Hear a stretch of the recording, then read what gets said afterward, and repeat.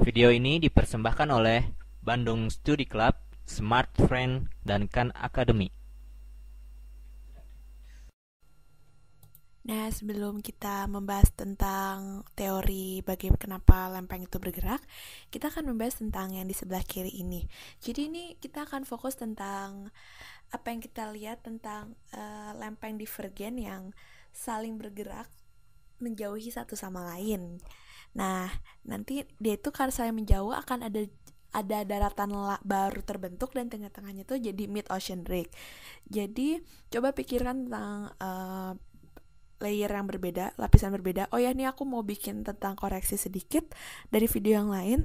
Kalau ini, ini kan gambarnya kemarin tuh benar-benar dot keluar dari layar, tapi sebenarnya harusnya cross masuk ke dalam layar gitu. Nah, terus jadi habis ini kita akan tentang bahas apa sih batas lempeng-lempeng divergen itu.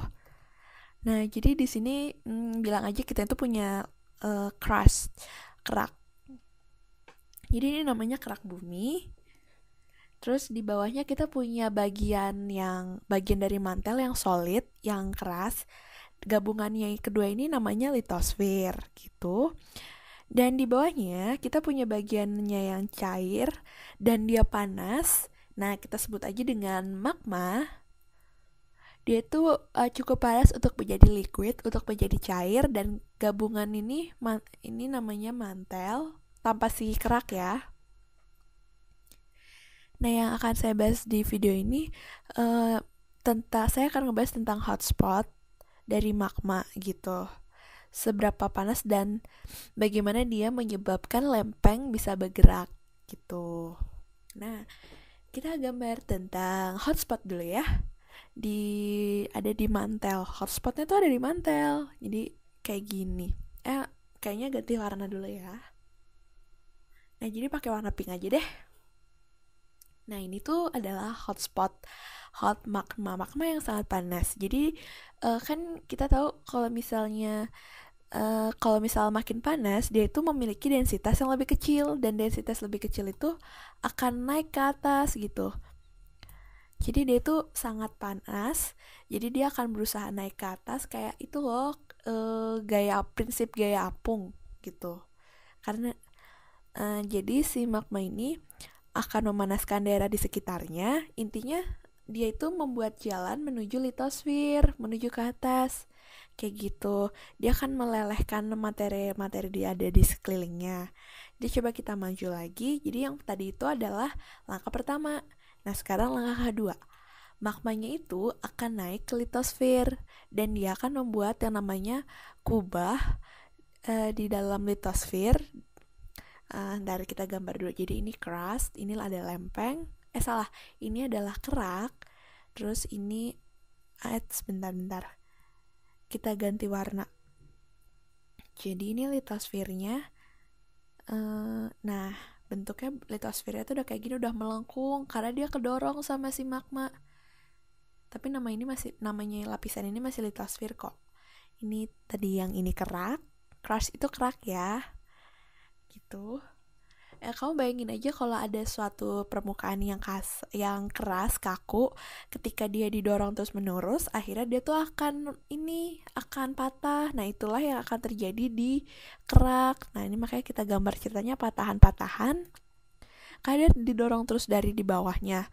Uh, coba kamu bayangin uh, roti deh yang mau di, yang kita panggang. Jadi dia tuh dia punya permukaan yang keras, jadi dalamnya itu memanaskan, dia tuh selalu memanas dan mengembang, makanya los permukaannya juga harus mengembang. Karena yang di atas permukaannya itu keras, akhirnya dia tuh crack, akhirnya dia tuh patah, pecah. Nah, itulah apa sih yang itulah yang sebenarnya terjadi dengan kerak bumi kita.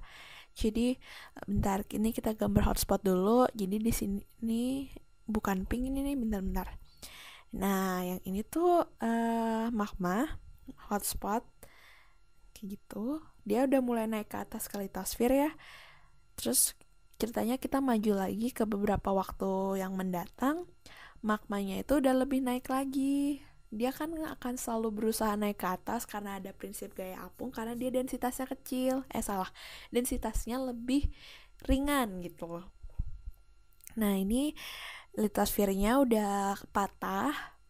Terus ini ya kayak gini udah kebuka. Terus di bawahnya ini adalah hotspot.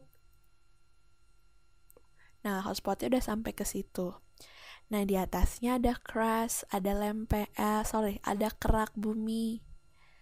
Nah si kerak buminya itu kan kedorong. Dia patah. Terus dia tuh uh, kedorong keluar gitu.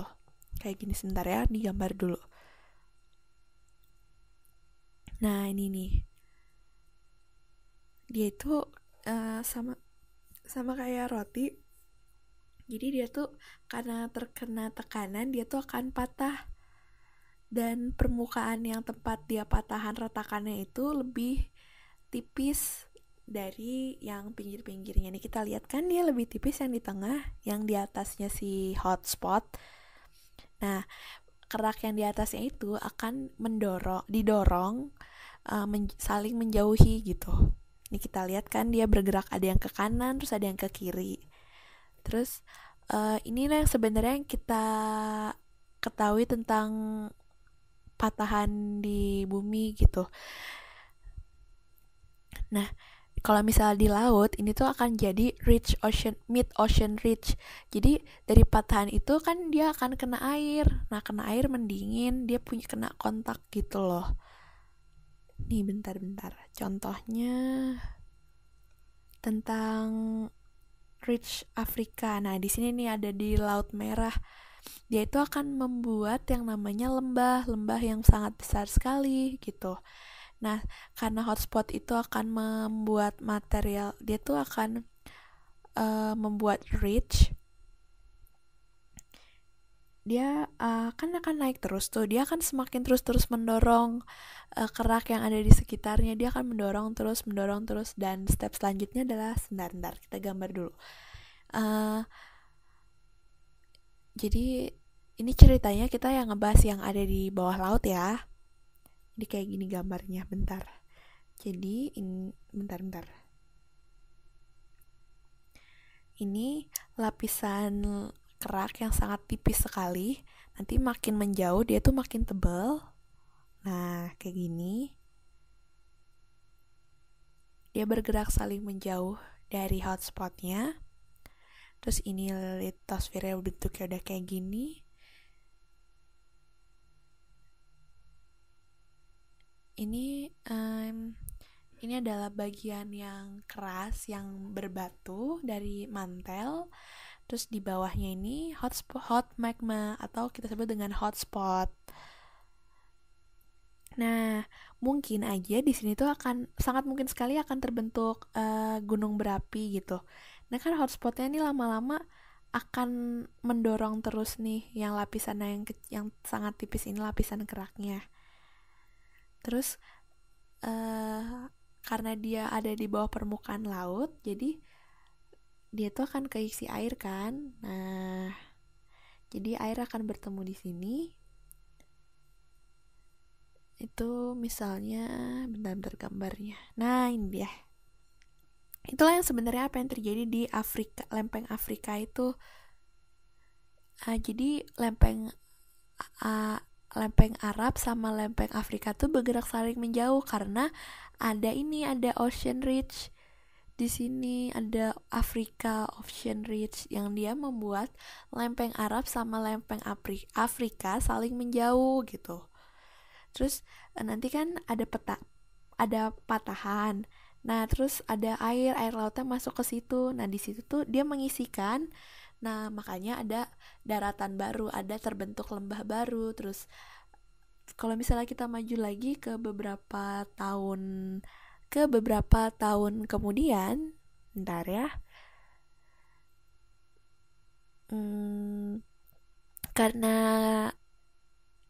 karena crushnya itu kedorong terus, ini akhirnya bentuknya seperti ini. Bentar, tunggu-tunggu.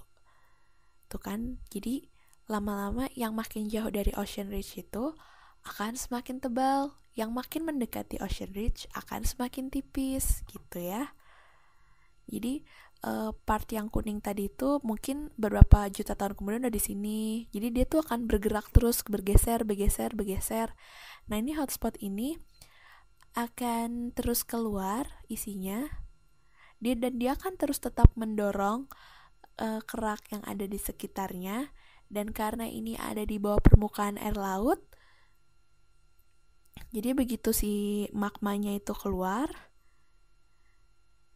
ini menjadi uh, gunung berapi di bawah laut gitu dan ketika airnya masuk dia akan langsung membeku mendingin nah akan terbentuk kayak daratan.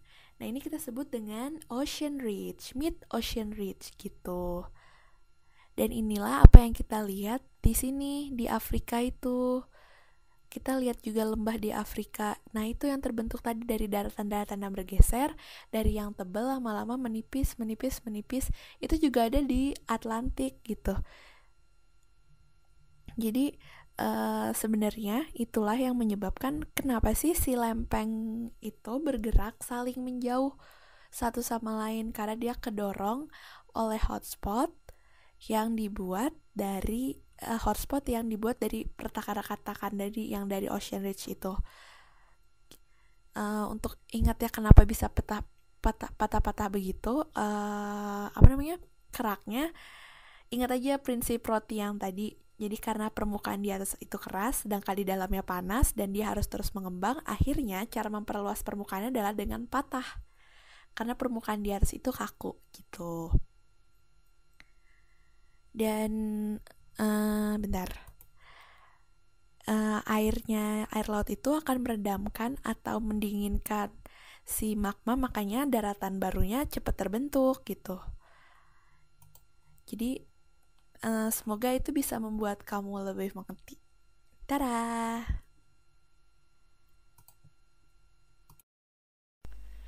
Video ini dipersembahkan oleh Bandung Studi Club, Smart Friend, dan Khan Academy.